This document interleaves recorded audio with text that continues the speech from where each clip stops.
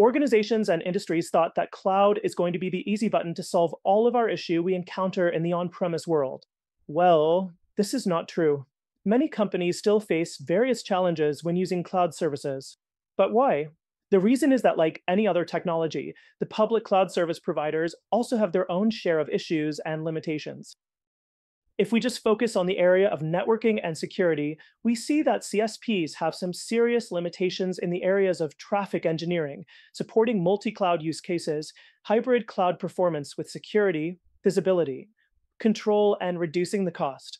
So what can we do as network and security engineers? Well, the key is that we need to be informed about those limitations and make sure we use services provided by CSPs coupled with solutions from vendors such as Aviatrix to provide solution to our organizations. Aviatrix creates an overlay network that works in single cloud, multiple clouds, and hybrid clouds. It provides one cloud fabric across AWS, GCP, Azure, OCI, Alibaba, etc. It also extends the cloud operating model and cloud experience to, on-premise hybrid and edge locations. Aviatrix addresses CSP limitations by offering a robust cloud networking platform that enhances visibility, control, and performance. The Aviatrix system uses a software-defined networking SDN approach through three main software components. One, controller for centralized control plane.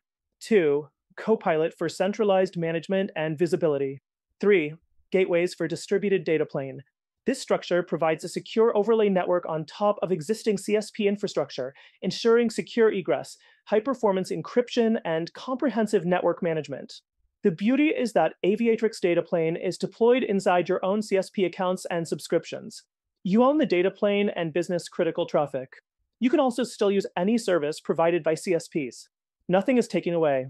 For this section, we will take a look at some of the key features and how they operate. Let's get started.